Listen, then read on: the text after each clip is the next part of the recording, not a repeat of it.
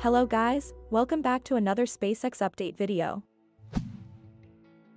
With the FAA's Starship licensing review still ongoing, people are speculating that the launch timeline could be between mid to late October. The launch site is eerily quiet right now, as it looks like SpaceX is waiting for the license to install the flight termination system on the vehicle, stack it up, and launch. At Massey's site, Booster 10 performed another cryogenic test on its LOX tank. Last time it was partially filled, but this time was a full load test. Things were looking good, and it will probably roll back to Mega Bay for engine installation soon.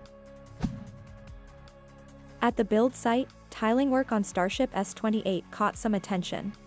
S-28's nose cone has two new heat shield panels installed on it, but they're not the normal hexagonal ones. We haven't seen anything like this in the past on any ship, so it's hard to tell what their purposes are. What do you think they're for? Comment down below. Rocket Lab is preparing to launch its ninth mission of the year on September 19th. Capella Space's We Will Never Desert You is scheduled to launch from Launch Complex 1 on the Mahia Peninsula in New Zealand. This mission is Capella's fourth mission with Rocket Lab. Finally, we have some exciting news from Stoke Space. The company has completed its first hop test on its Hopper 2 test vehicle. It was very impressive, as they did it untethered on their first try. It kind of reminded me of the Starhopper test.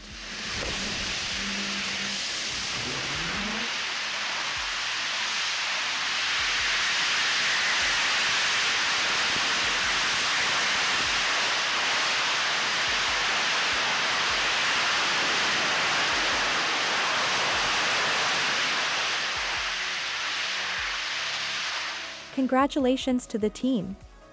Stoke Space's successful Hopper 2 test is a major milestone for the company.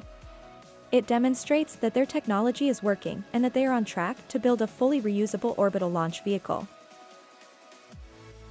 That's it for now. Thanks for watching, and I hope you had an amazing weekend.